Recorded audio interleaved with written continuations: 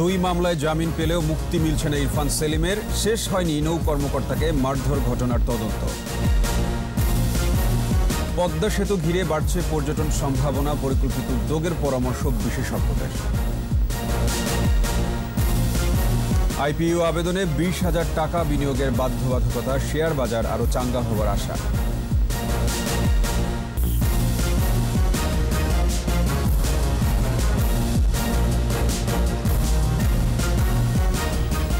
শুনছিলেন first security Islami bank limited সংবাদ শিরোনাম। আমন্ত্রণ জানাচ্ছি সকাল নটার একুশে সংবাদে। আপনাদের সাথে আছি আমি সাব্বে আহমেদ। দর্শক, একুশে টেলিভিশনের সংবাদ একই সাথে সরাসরি দেখতে পাবেন আমাদের Facebook page W W W dot Facebook dot com slash Ekushey twenty four অনলাইনে এছাড়া সংবাদে আরও থাকছে। বরগুনায় দেশের প্রথম নৌকা জাদুঘর হারিয়ে যাওয়া ঐতিহ্য তুলে ধরতে জেলা প্রশাসনের উদ্যোগ।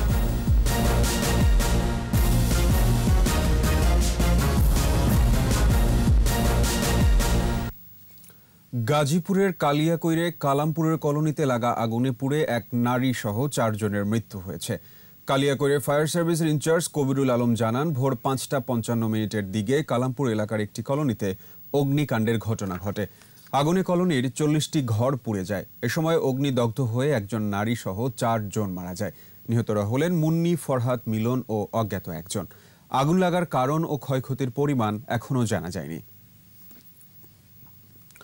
মদ্যপান ও অবৈধ ওয়াকিটকি রাখায় ভ্রাম্যমাণ আদালতের দুটি মামলায় জামিন পেলেও মুক্তি মিলছে না হাজি সেলিম পুত্র, ঢাকা দক্ষিণ সিটির কাউন্সিলর ইনফার সেলিমের।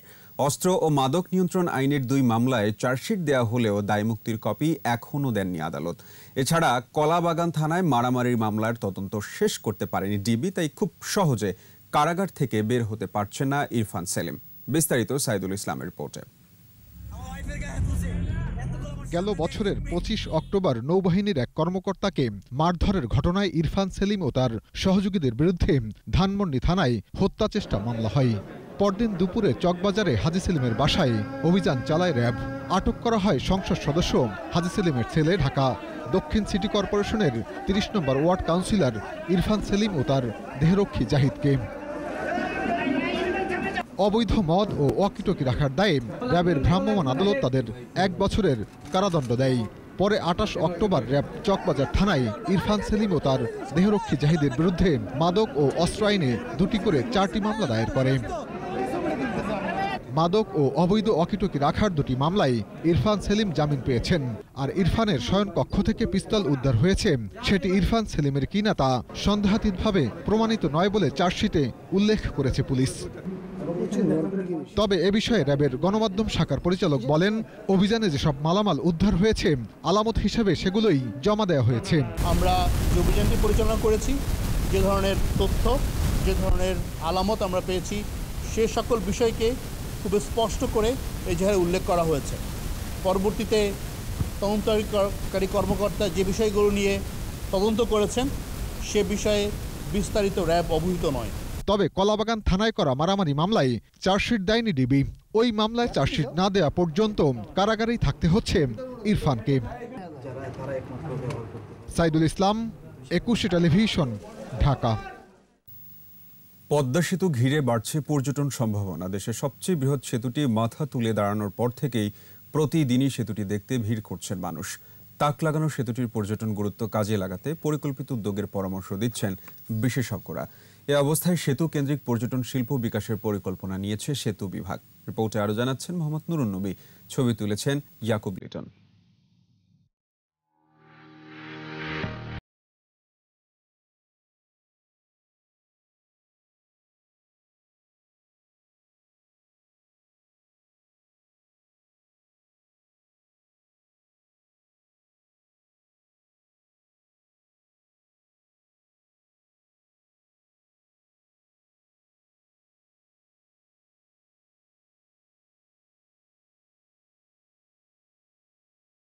আকৃষ্ট করে সবাইকে।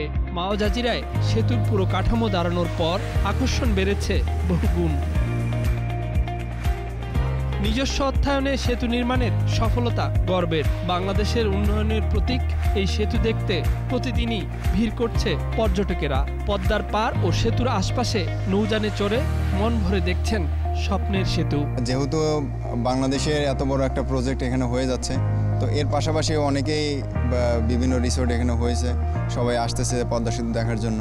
আশেপাশে এলাকা ধীরে ধীরে ডেভেলপ হচ্ছে। আমরা এখানে দেখতে আসছি হইল পদ্মা সেতু প্লাস হইল আশেপাশের পরিবেশটা। প্লাস থাকার ব্যবস্থাও যদি ভালো হয় আশা করি সামনে আমাদের এটা পর্যটন কেন্দ্র হিসেবেও এটা পরিচিতি লাভ করবে। দেশের অর্থনৈতিক পরিবর্তনের জিয়ানকাঠি পদ্মা সেতু দেখাই তাদের মূল আকর্ষণ। উন্নয়নের যে কাজগুলো চলতেছে আসলে সেটা আমরা নিজে দেখতে আসছি। তাতে আমরা দেখে দুই পাশে যা দেখলাম তাতে আমরা অনেক মানে উৎসাহিত জননেত্রী শেখ হাসিনার কাছে আবেদন থাকবে। তিনি পদ্মার দুই পার্কে এমন সুন্দর করবেন এবং আরও বেশি দৃষ্টিনন্দন করবেন যাতে শুধু দেশীয় পর্যটক না, বিদেশ থেকেও যাতে পর্যটক এই পদ্মা সেতুকে দেখার জন্য আসে। সেতু কেন্দ্রিক পর্যটনের ভাবনা আছে সেতু বিভাগের। সেতু নির্মাণের সাথে সাথেই পদ্মার দুই পারে গড়ে উঠেছে তিন তিনটি সার্ভিস এরিয়ায় আবাসন ও সাইড অফিস। পরবর্তীতে পর্যটনের কাজে যা ব্যবহার করার পরিকল্পনা আছে সেতু কর্তৃপক্ষের। বিবিও নিজস্ব ম্যানেজমেন্টেই থাকবে। এটা আসলে ট্যুরিজমের জন্য আমি মনে করি একটি বিরাট সম্ভাবনাময় একটা খাত সৃষ্টি হবে। সেক্ষেত্রে বিবিএর বা রাষ্ট্রীয় একটা কোষাগারে বিরাট অর্থ জমা আয় করার সুযোগ থাকবে। পদ্মাকে ঘিরে পরিকল্পিত পর্যটন গড়ে তুলতে এখনই ভাববার পরামর্শ দিচ্ছেন এই পর্যটন বিশেষজ্ঞ। এবং সেই গাড়িতে বসে ছয় দশমিক এক পাঁচ কিলোমিটারের এবং প্রাকৃতিক যে নৈসর্গ, সেটি তারা উপভোগ করবে। এটি আমাদের কাছে একটি মুখ্যম সময় যে এখনই আমরা একটি পরিকল্পনা গ্রহণ করি যে পদ্মা সেতু তার আশেপাশে যে চরগুলো রয়েছে, সেগুলোকে প্রপারলি ইউটিলাইজ করে কীভাবে পর্যটন কেন্দ্র তৈরি করা যায় পদ্মার দুপারের পরিবেশ ও প্রতিবেশ নিরাপদ রাখা আর যত্রতত্র অবকাঠামো নির্মাণ করে সৌন্দর্যকে ম্লান না করার পরামর্শ এই গবেষকের। মেগা স্ট্রাকচার পদ্মা সেতুর বিকাশের সাথে সাথে পদ্মার দুই পারের পর্যটন কেন্দ্রও বিকশিত হয়েছে স্বাভাবিকভাবেই।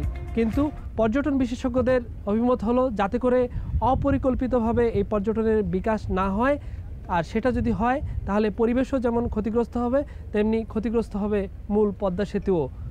মোহাম্মদ নুরুন্নবী একুশে টেলিভিশন, মাওয়া, মুন্সীগঞ্জ। আইপিও আবেদনে কমপক্ষে বিশ হাজার টাকার বিনিয়োগ থাকার বাধ্যবাধকতা আরোপ করে বিএসসিসির দেয়া নতুন শর্তকে ইতিবাচক হিসেবে দেখছেন পুঁজিবাজার বিশ্লেষকরা বলছেন, এতে আইপিও শিকারীদের দৌরাত্ম্য কমবে। পাশাপাশি শর্ত পূরণে অনেকেই সেকেন্ডারি মার্কেটে বাড়াবেন বিনিয়োগ। এতে শেয়ারের বাড়তি চাহিদা তৈরি হওয়ায় বাজার আরও চাঙ্গা হবে বলে আশা সংশ্লিষ্টদের। মেহেদি হাসানের report.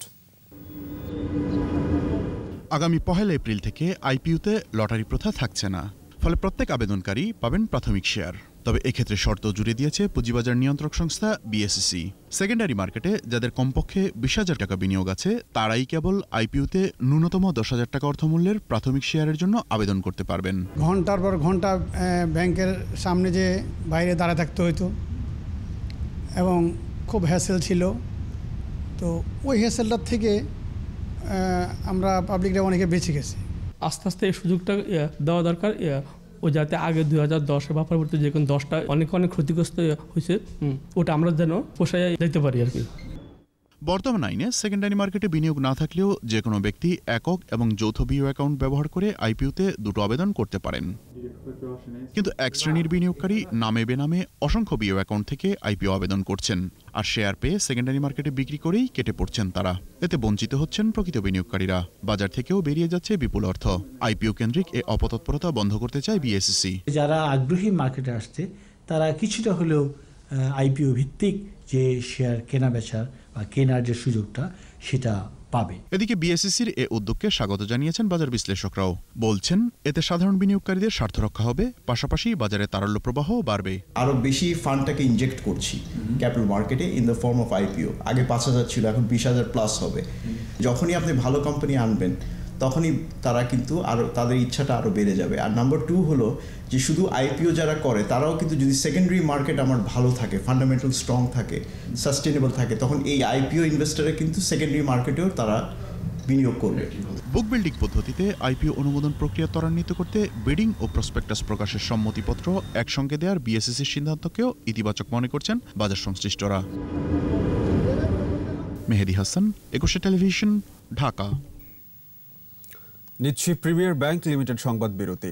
No mask no service বিধি মেনে চলুন, সুস্থ থাকুন। যখন ফিরছি, তখন অন্যান্য খবরের সঙ্গে আরও থাকবে। কৃষি বিশ্ববিদ্যালয় স্থাপনের ঘোষণায় কুড়ি গ্রামে উচ্ছ্বাস, শিক্ষার হার বৃদ্ধি ও কর্মসংস্থান সৃষ্টির আশা। আমন্ত্রণ আবারও, আপনারা দেখছেন সকাল নটার একুশে সংবাদ। কৃষি বিশ্ববিদ্যালয় স্থাপনের ঘোষণায় শিক্ষার আলোয় আলোকিত হওয়ার স্বপ্ন দেখছে পিছিয়ে থাকা উত্তরের জেলা কুড়ি গ্রামের মানুষ। বাড়বে শিক্ষার হার সৃষ্টি হবে কর্মসংস্থান আর প্রসার ঘটবে ব্যবসা বাণিজ্যের। এমন স্বপ্নের কথা জানায় সাধারণ মানুষ। কুড়িগ্রাম প্রতিনিধি আতাউর রহমান বিপ্লবের রিপোর্ট জানাচ্ছেন সমর ইসলাম। আওয়ামী লীগ ক্ষমতায় আসার পর দু হাজার পনেরো সালের পনেরো অক্টোবর প্রধানমন্ত্রী শেখ হাসিনা কুড়িগ্রাম সফর করেন। সরকারি কলেজ মাঠে সমাবেশে কুড়িগ্রামের উন্নয়নের প্রতিশ্রুতি দেন প্রধানমন্ত্রী শেখ হাসিনা।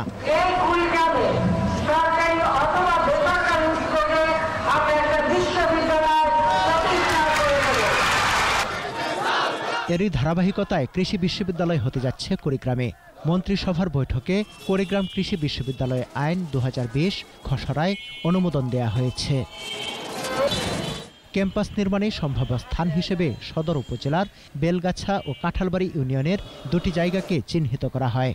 শিক্ষার আলোয় আলোকিত হওয়ার স্বপ্ন আরও গতি পায় তিস্তা পাড়ের মানুষের। এখানে কৃষি বিদ্যালয় করতেছে। আমরা জনগণ সবাই খুশি।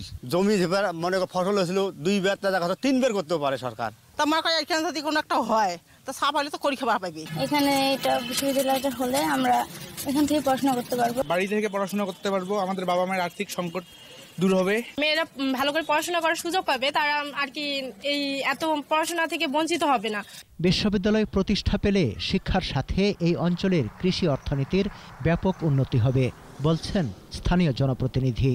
কুড়িয়ার মানুষের প্রাণের দাবি, একটি মেডিকেল কলেজ, একটি অর্থনৈতিক অঞ্চল। আমার বিশ্বাস, বঙ্গবন্ধু কন্যা জননেত্রী শেখ হাসিনা আমাদের সে দাবিটি পূরণ করবেন। বিশ্ববিদ্যালয়ের পাশাপাশি প্রধানমন্ত্রীর প্রতিশ্রুতি, বিশেষ অর্থনৈতিক অঞ্চল সহ মেডিকেল কলেজ এবং তিস্তা দ্বিতীয় সেতুর উপর রেল সংযোগ বাস্তবায়নের দাবি কুড়িগ্রামবাসীর। সমর ইসলাম একুশে টেলিভিশন। জাতির পিতার জন্ম শতবার্ষিকী উপলক্ষে বরগুনায় চালু হয়েছে দেশের প্রথম নৌকা জাদুঘর। নদীমাতৃক বাংলাদেশের প্রধান বাহন নৌকা মুক্তিযুদ্ধের অনুপ্রেরণার প্রতীক। পাকিস্তানি হানাদার বাহিনীর বিরুদ্ধে দুঃসাহসিক সব অভিযানেও ব্যবহৃত হয়েছে নৌকা। নতুন প্রজন্মের কাছে হারিয়ে যাওয়া ঐতিহ্য ও বাহারি গরনের নৌকা তুলে ধরতে জেলা প্রশাসনের উদ্যোগে নির্মাণ হয়েছে এই জাদুঘর। বরগুনা প্রতিনিধি জয়দেব রায়ের রিপোর্ট জানাচ্ছেন মাসুম আলাইসা জাদুঘরের নাম রাখা হয়েছে বঙ্গবন্ধু নৌকা জাদুঘর। দেশ বিদেশের নানা নকশার একশোটি নৌকার দৃষ্টিনন্দন অনুকৃতি নিয়ে যাত্রা শুরু করেছে বঙ্গবন্ধু নৌকা জাদুঘর। বরগুনা জেলা প্রশাসকের প্রচেষ্টায় মাত্র একাশি দিনের মধ্যে সম্পন্ন হয় বঙ্গবন্ধু নৌকা জাদুঘর। জেলা প্রশাসন ভবন সংলগ্ন আটাত্তর শতাংশ জমিতে নৌকার আদলে তৈরি করা হয় জাদুঘরটি। জাদুঘরে স্থান পাওয়া নৌকার মধ্যে রয়েছে ডিঙ্গি, একমালই, কেরায়া, কোষা, পানসি, গয়না, কোন্দা, ঘাসি, সাম্পান, লম্বাপাদি, কাঠামি বা রপ্তানি, বাঁচারি, পাতাম ও বাইচের নৌকা। নৌকা জাদুঘর দেখতে আসছেন নানা বয়সী মানুষ। এ উদ্যোগের প্রশংসা করেন তারা। এই নৌকা আমাদের ইতিহাস। এই নৌকা আমাদের চেতনা বঙ্গবন্ধু নৌকা জাদুঘর মানুষের মধ্যে নতুন একটি মাত্রা যোগ করবে বলে আমরা বিশ্বাস করি। গ্রামের ঐতিহ্য যে নৌকা সেইটা এখানে এসে দেখতে পেয়েছি। এ জায়গায় এসে অভিভূত হয়েছি। উপমহাদেশে প্রতিষ্ঠিত প্রথম নৌকা জাদুঘর বরগুনাতে প্রতিষ্ঠিত হওয়ায় আমরা খুবই আনন্দিত। আমরা কখনোই নৌকায় উঠিনি কিন্তু এখানে নৌকা জাদুঘর দেখে আমরা খুব খুশি। নৌকার আদলে নৌকার জাদুঘর থেকে আমি খুব খুশি। বঙ্গবন্ধু নৌকা জাদুঘর নতুন প্রজন্মের কাছে নৌকার ইতিহাস ও ঐতিহ্য তুলে ধরতে সহায়ক হবে বলছেন জেলা প্রশাসক। আমাদের নতুন প্রজন্মের কাছে আমরা বঙ্গবন্ধুকে এবং এই নৌকাকে উপস্থাপন করার জন্য আমরা উদ্যোগ নিয়েছি। বঙ্গবন্ধু ও নৌকার ঐতিহ্য রক্ষায় জায়গাটি বরাদ্দ দিয়েছে পৌরসভা কর্তৃপক্ষ। নৌকা জাদুঘরটি উদ্বোধন করতে পেরে আমি নিজেকে ধন্য মনে করি এবং আমি মনে করি যে বঙ্গবন্ধুর আদর্শ বাস্তবায়ন করতে আমি সক্ষম হয়েছি। যন্ত্রায়নের যুগে দেশের খাল নদী সাগরে এখন আর ঐতিহ্যবাহী নৌকা দেখা যায় না। এই জাদুঘর ঐতিহ্যকে তুলে ধরবে। মাসমালিসা একুশে টেলিভিশন। ঝিনাইদহে অনুষ্ঠিত হল ঐতিহ্যবাহী গরুর গাড়ির দৌড় প্রতিযোগিতা। বিলুপ্তপ্রায় এ খেলাটি নিয়মিত আয়োজনের আশ্বাস আয়োজকদের। ঝিনাইদহের বেতাই গ্রামে এ প্রতিযোগিতায় যশোর, ঝিনাইদহ, মাগুরা ও চুয়াডাঙ্গা থেকে বাছাই করা মোট আটত্রিশটি গরুর গাড়ি অংশ নেয়। এ উপলক্ষে আয়োজন করা হয় আনন্দ মেলারও। তীব্র প্রতিদ্বন্দ্বিতার শেষে দৌড়ে বিজয়ী হয় মহেশপুর উপজেলার খালিশপুরের আবু সাইদের গরুর গাড়ি। আবহমান বাংলার চিরায়ত ঐতিহ্যের এই আয়োজন দেখে খুশি দর্শকরাও। তরুণ প্রজন্মকে খেলাধুলার প্রতি আগ্রহী এবং যুব সমাজকে অন্যায়, অপরাধ থেকে দূরে রাখতে এমন আয়োজনের ধারাবাহিকতা ধরে রাখা উচিত বলে মনে করেন সকলে।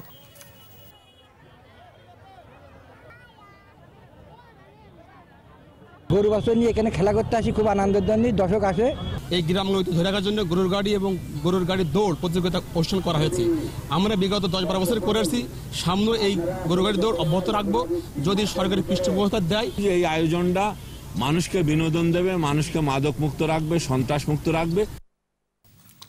আর এই সাথে শেষ করছি সকাল নটার একুশে সংবাদ যাবার আগে first security Islami bank limited সংবাদ শিরোনামগুলো আরও একবার।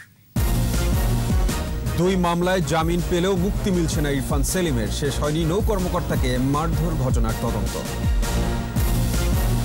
পদ্মা সেতু নিয়ে বাড়ছে পর্যটন সম্ভাবনা, পরিকল্পিত উদ্যোগের পরামর্শ বিশেষজ্ঞদের। আইপিও আবেদনে বিশ হাজার টাকা বিনিয়োগের বাধ্যবাধকতা, শেয়ার বাজারে আরও চাঙ্গা হবার আশা।